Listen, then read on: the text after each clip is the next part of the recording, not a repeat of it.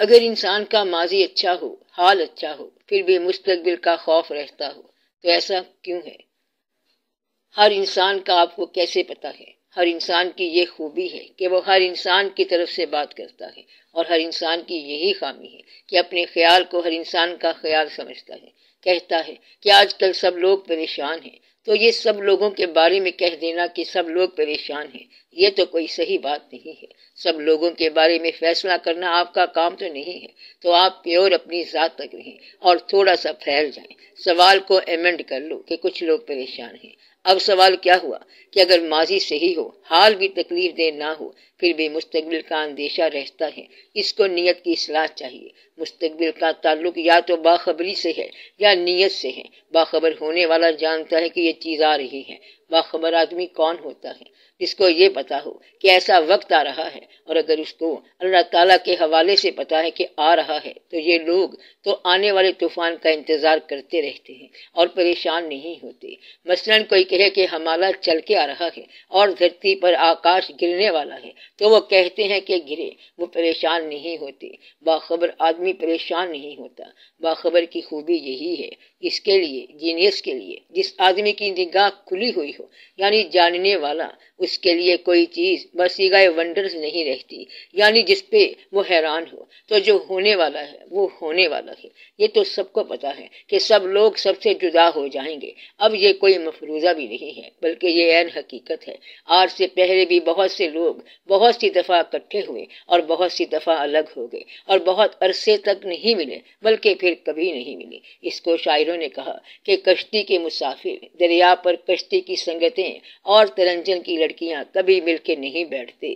तो बेड़ी द पोर और तरंजन दी कुड़ियाँ फिर कब मिलेंगी? असल में बात यह है कि कोई आदमी किसी आदमी को दोबारा नहीं मिलता। और जब दोबारा मिलता है, तब भी वो आदमी नहीं होता जो कल मिला था। और अपने आप से अपना आप भी दोबारा नहीं मिलता। कुछ न कुछ चीज़ निकल चुकी होती है। कोई नया प्रॉब्लम आ चुका होता है। ज़मीन से कोई वज़न जा चुका होता है। और ज़मीन पर कोई नया वज़न आ चुका होता है। कोई ज़िम्मेदारी उसके ऊपर आ चुकी होती है। कोई फ़र्ज़ कोताही बन चुका होता है। कहीं नमाज़ रह गई होती है। एमाल नामा या इधर हो जाता है, या फिर उधर हो जाता है। कुछ ना कुछ हो चुका होता है। ज़िंदगी का कानून यही है कि दो लम्हात, दो कंस्टिक्यूटिव मोमेंट्स आप कभी एक हालत में रह नहीं सकते। कुछ ना कुछ हो जाता है। कहीं ना कहीं वाक्य हो चुका होता है। सितारों की संगत बदल जाती है। आपके सयारगान बदल जाते हैं और दूसरे का सयारा आपके पास से गुजर जाता है। तो कोई ना कोई वाक्य हो जाता है। ये मैं इसलिए कह रहा हूँ कि आपको समझ आनी चाहिए कि कोई संगत ज़िंदगी ने हमेशा के लिए मिल बैठने को अवेलेबल नहीं की। ज़िंदगी में इतनी गुंजाइश नहीं है। कुछ लोग कहते हैं कि ज़िंदगी जेलस है और जब दो आदमी इकट्ठे बैठे हूँ तो ये घबरा जाती है और कहीं ना कहीं इंतज़ार पैदा कर देती है। कुछ लोग कहते हैं कि मौत जलस है। जहाँ दो आदमी मोहब्बत करना शुरू कर दें तो ये दरमियान में से गुजर जाती है। और अगर ना गुजरे तो अपना साया गुजार देती है। ये वाक्य हम अक्सर देखते आ रहे हैं। मेरी बात पे गौर किया आपने, मजमून पे गौर किया। क्या हाथ से निकल तो नहीं गया? मकसद ये है कि जिन लोगों को आने वाले वक्त का इल्म हो जाता है, उन्हें परेशानी नहीं होती। ये तो हर बाशूर आदमी को पता है कि हर चीज़ जो है, ये नहीं होगी। इसे हम मुशाहिदे का इल्म नहीं कहेंगे, बल्कि ये तजुर्बे का इल्म है। हर चीज़ जो है, वो ज़ाया हो जाती है और हर संगत जुदा होती है। तो ये भी मुशाहिदा ही है और ये तजुर्बे का मुशाहिदा है। वो जिसको हम विजन कहते हैं। आँख जो कुछ देखती है, लब पे आ सकता नहीं।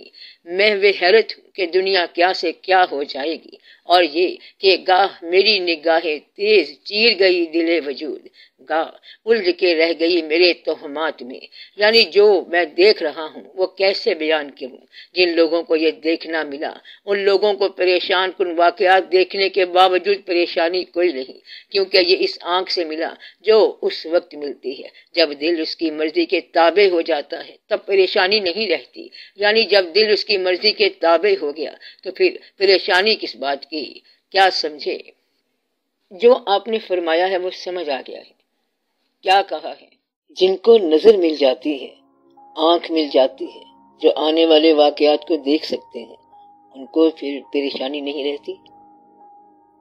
आँख मिलती ही उन लोगों को है, जिनमें वो परेशानी नहीं होती। मतलब ये कि अगर आप ये दुआ मांगो कि खुदा से चश्मे बीना भी तलब कर। आँख का नूर, दिल का नूर नहीं। अगर वो अल्लाह ताला से चश्मे बीना मांग लेता है और इस निगाह के बाद उसे महसूस होता है कि जिनको वो दोस्त समझ रहा था, वो दोस्त नहीं है तो अब इस निगाह के हासिल होने के बाद उसका रिएक्शन करना नामुमकिन है। वो ये नहीं कहेगा कि मैंने तुम्हें क्या समझा था और तुम क्या निकल आई हो। तो इस निगाह के बाद ये रिएक्शन नामुमकिन है। इस बात पे ज़रा गौर कर लो। तो फिर अगली बात करते हैं। अगर आपने अपनी सोच से, अपने तजुर्बे से महसूस कर लिया कि ये आदमी मेरे साथ डिसऑनेस्ट है तो उसे आप इबलाग करो। उसे बताओ कि तेरा कल बिहेवियर तेरे परसों के बिहेवियर से थोड़ा सा जुदा था। मुझे एविडेंस मिले हैं कि तुमने मेरे साथ नाइंसाफी की है। तुम अच्छे आदमी नहीं हो, तुम बहुत बुरे हो। तुम आगे से जवाब दे या ना दे। जब आपको बिल यकीन मुशाहिदा मिल जाए कि ये आदमी मेरे लिए तलवार लेके आया है तो फिर इस आदमी के साथ आप जाती तौर पर रिएक्शन नहीं कर सकते, अपने आप को बचा सकते हो। लेकिन रिएक्शन नहीं कर सकते। आँख देने वाले ने ये शर्त पहले लगा रखी है कि हम आँख उसको देते हैं जिसके पास ये कुवत हो। उतनी ही कुत बर्दाश्त हो, तब जाके ये आँख मिलती है। लिहाजा वो लोग तो परेशान नहीं होते, जिनको मुस्तबिल की खबर हो जाए कि मेरे लिए मुस्तबिल मुश्किल आ रहा है। उसको खबर कहाँ से हुई? किस एजेंसी से हुई? खुदादाद एजेंसी से। अल्लाह ने जिसको मुस्तकबिल दिखा दिया, वो कभी परेशान नहीं होगा। दूसरे को हक कैसे पहुँचता है कि वो मुस्तबिल के लिए परेशान हो, जब तक कि उसकी नीयत खराब ना हो? आप बात समझ रहे हैं? क्योंकि आज की नीयत कल का मंजर होगा। अगर उसको अपनी उम्मीदों पर भरोसा नहीं है तो उसे अपने खदशात पर क्यों भरोसा है? कहता है कि उम्मीदें धोखा दे जाती हैं। उससे पूछो कि आज तक तेरे खदशे कब पूरे हुए? मसलन, सड़कों पर खुदा न खास्ता हादसे होते रहते हैं। इसलिए वो कहता है कि हम सड़क के ज़रिए नहीं जाना चाहते, हादसे जो होते रहते हैं।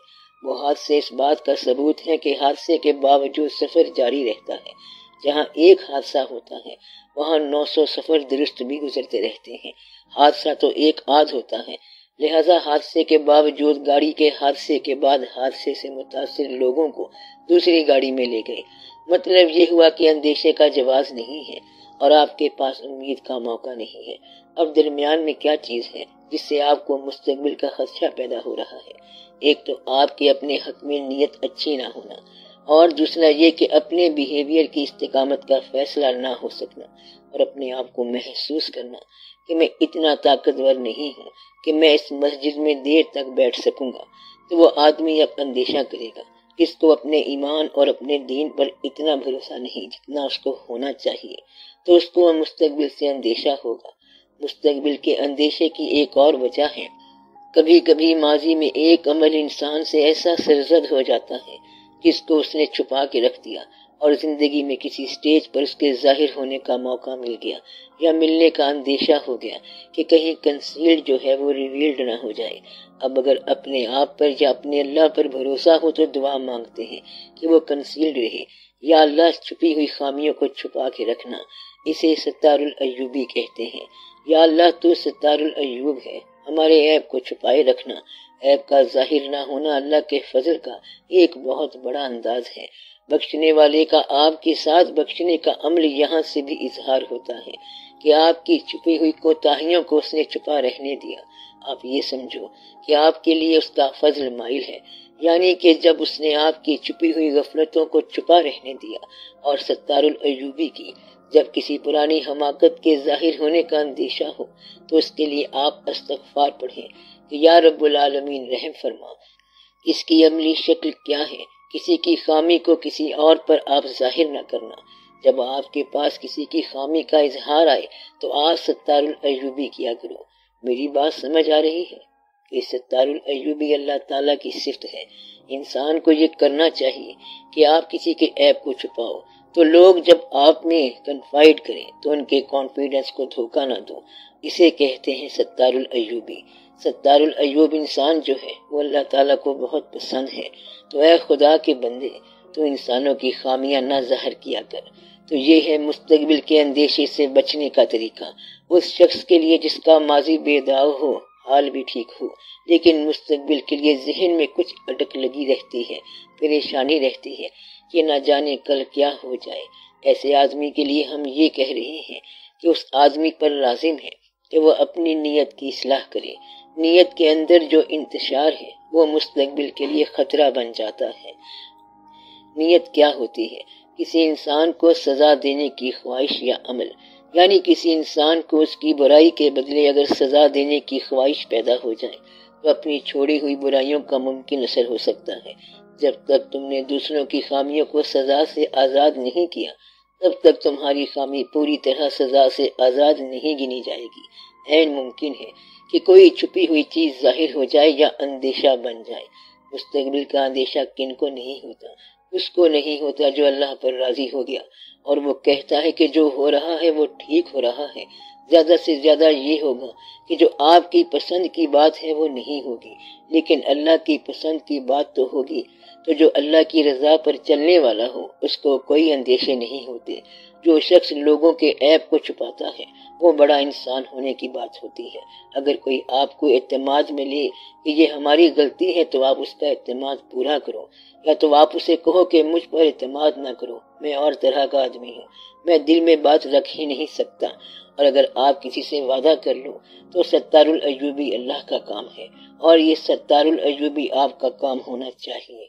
आधे से ज़्यादा लोग इसलिए परेशान हैं कि वो अपनी खामियों का प्रापेगंडा करते हैं। मसलन ये कहते हैं कि हमारे घर में मुसीबत आ गई। अगर मुसीबत आ गई है तो बयान क्यों आया है? अब लोगों का ये एक किस्म का रिवाज बन गया है कि अपनी खामियों का या अपनी परेशानियों का दूसरे के सामने इतना बरमला इजहार करते हैं कि वो खामी मैनिफोल्ड हो जाती है। उसका जितना बयान होगा ये उतनी बढ़ जाएगी। खामी, अजियत और परेशानी उस आदमी के सामने बयान न करना, इस पर तुम्हारा इतमाद नहीं है। मगर आप बयान करते चले गए। इस तरह ये एक आदत सी बन जाती है। जो शख्स अपने मसाइल को छुपा नहीं सकता, अपनी खामियों को छुपा नहीं सकता, वो दूसरों की सत्तारूबी क्या करेगा? इसलिए यहाँ आके इंसान को परेशानी का सामना करना पड़ता है और मुस्तबिल का अंदेशा पैदा होता है। मुस्तबिल का अंदेशा किसको पैदा होगा? जो अपनी खामी ना छुपा सके और दूसरे की खामी का इश्तेहार लगा दे। मुस्तकबिल का अंदेशा उसको होगा जिसकी नीयत में अच्छाई ना हो, बल्कि नीयत की बुराई हो। मुस्तकबिल कभी कभी ऐसा महसूस होता है कि एक अंदेशा डाउन करता है। ये पूरा विजन नहीं होता, बल्कि इशारा होता है कि मुझे लग रहा है, अचानक मेरे जी में बात आई है कि कल का दिन भारी होगा। ये मुझे भूजल लगता है तो ये बिला सबब अंदेशा होता है। जब ऐसा वक्त आ जाए कि मुस्तकबिल का खतरा नौक करे, मगर अपना नाम ना बताए तो उस वक्त आप बकरे की कुर्बानी करो, गाय की करो या ऊँट की करो।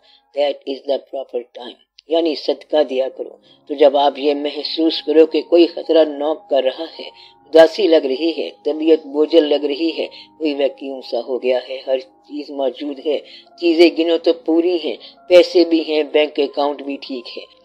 इसमें भी दिक्कत नहीं है। फिर है क्या? फ़ोन करो कि खैरियत से हो तो वो भी खैरियत से हैं। मगर कोई वेट सा आ रहा है, वज़न आ रहा है। ये वक्त है कि आप नमाज़ और खैरात से मदद मांगो। इस वक्त को आप यूँ टालो, कैसे? सदके और नमाज़ के साथ और इतमाद के साथ। अगर ऐसा वक्त आ रहा है और आपको महसूस हो रहा है तो ये नमाज़ का वक्त है। जब वो खतरा नॉक कर रहा है गुमनाम खतरा बेनाम हवा सर्दी में रोशनदान से आ रही है।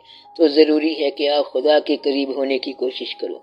जिस शख्स को खुदा पर पूरा भरोसा ना हो और खतरे का एहसास हो तो वह शख्स बहुत दिक्कत में होता है।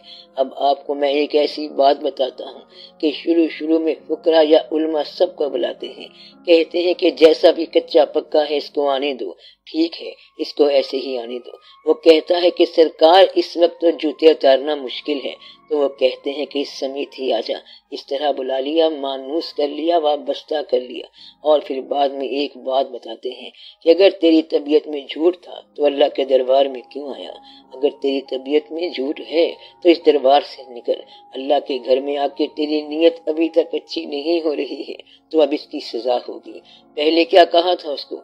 जैसा है। कच्चा पक्का है इसको, कहा कि इस्लाम को कबूल कर लो? कलमा पढ़ने से सब कुछ ठीक हो जाएगा। अब क्या कहा? अगर अल्लाह के सामने आके तुम्हारे अंदर से बदी नहीं जाती या बदनीयती नहीं जाती तो तुम्हें सजा होगी। तो उस वक्त उसे कहते हैं कि दीन में मुकम्मल दाखिल हो जाओ। आपको बात समझ आ रही है कि अब आप लोग मस्जिद में आ गए अल्लाह के करीब आ गए। अब दिल से हर तरह का ख्याल निकाल दो। गोया कि अल्लाह को कहना पड़ा कि, ए मानने वालों, मान लो। यानी ए ईमान वालों, ईमान ले आओ। यानी ए ईमान वालों, दिल में बेईमानी छोड़ दो, रियल ईमान लाओ। गोया के ईमान लाने वाला मुमकिन है कि ईमान ना लाए और मोमिनों में शामिल हो, लेकिन उसको अपने छोटे से ईमान का यकीन तो हो, मगर यकीन भी पूरा ना हो। यकीन बड़ी चीज़ होता है। अगर फलाह का यकीन हो तो फिर ईमान कायम रह जाता है। अगर फलाह का यकीन ना हो तो ईमान में अंदेशा पैदा हो जाएगा। इसलिए मुस्तकबिल के मुमकिन खतरे से बचने का चारा नंबर वन ये है कि दुआ लो। नंबर दो के सदकात दो, नंबर तीन ये के नमाज़ की इबादत करो, और नंबर चार ये के छुपी हुई गलतियों पर पूरी माफ़ी मांग लो, और जैसा हो सकता है उसको ठीक कर लो। लोगों की गलतियों का इजहार करना बंद करो, ताकि तुम्हारी गलतियों को छुपा दिया जाए। अपनी ज़ुबान से किसी की खामी बयान न करो। अगर एक आदमी काफिर है, और आप कहते हैं कि ये बड़ा काफिर है, अगर कल वो आदमी अल्लाह के हुक्म से इस्लाम में दाखिल कर लिया जाए तो आपका आज का बयान किस काम का? जब तक आदमी आखिरी सांस में न पहुँचे, इसके बारे में राय का इजहार करने से पहले गौर कर लिया करो। आज का मुसलमान पता नहीं कल किधर जाएगा, और आज का काफिर पता नहीं कल कैसे हो जाएगा। पब्लिक के अंदर राय देने से पहले आप एहतियात किया करो। क्योंकि ये हदीस शरीफ है कि एन मुमकिन है कि एक आदमी और जन्नत के माबैन एक बारिश का फासला हो। और वो आदमी दोजख में जा गिरे। और ऐन मुमकिन है कि दोजख और बंदे के दरमियान एक बारिश का फासला हो और वो आदमी जन्नत में चला जाए। ये हो सकता है ना? गोया कि लास्ट मोमेंट भी सफ़र का रास्ता बदल सकता है। एक आदमी जो मानने वाला हो, अगर वो आखिरी वक्त में गिला कर दे कि या अल्लाह, ये क्या है? तो वो गिला करने से काफिर हो जाएगा। इसलिए अपने ईमान का एहतराम किया करो, उसका शुक्र अदा किया करो। ये तुम समझ रहे हो कि ये तुमने हासिल किया, लेकिन ईमान अल्लाह ने अदा किया है। अगर कभी ईमान मिल जाए तो उसका शुक्र अदा करना चाहिए, और ये है न्याज। जब ईमान मिल जाए, पता चल जाए, यकीन हो जाए तो उसका दूसरा शुक्र करो, और वो क्या है? न्याज। उसे न्याज कहते हैं कि ये उसके नाम की न्याज है, शुक्र की बात है कि उसने मुझे मेरे मांगे बगैर वो इतम दिया। इसे कहते हैं यकीन बेगुमा ऐसा यकीन जिसमें शक का शाइबा ही ना हो। अगर कोई कहे कि अल्लाह है तो कहो कि है। तुमने देखा है? नहीं। फिर कैसे है? तुम कहो कि वो है। तो ऐसा यकीन हो जिसमें शक का मौका ही ना हो। इसलिए मुस्तकबिल के अंदेशे को हाल में मसरूफियत इख्तियार करके टाल दिया करो। आप क्या करो? हाल में इतने मशगूल हो जाओ। मगन हो जाओ कि मुस्तकबिल अल्लाह के हवाले रहने दो। फिर जो कुछ आएगा, बेहतर आएगा। आज का दिन अच्छा गुजरा, कल भी इंशाल्लाह ताला अच्छा हो जाएगा। बस ये याद रखना चाहिए कि जो हुआ अच्छा हुआ। और जो हो रहा है, वो बेहतर हो रहा है। और जो होगा, वो और बेहतर होगा इनशाला ताला। इस एतमाद के साथ मुस्तबिल का खतरा टल जाता है। मुस्तबिल के बारे में कभी बदगुमानियाँ और बदशगुनियाँ ना किया करो। मुस्तबिल बड़ी सैकड़ चीज़ है, इसका अंदेशा ना किया करो।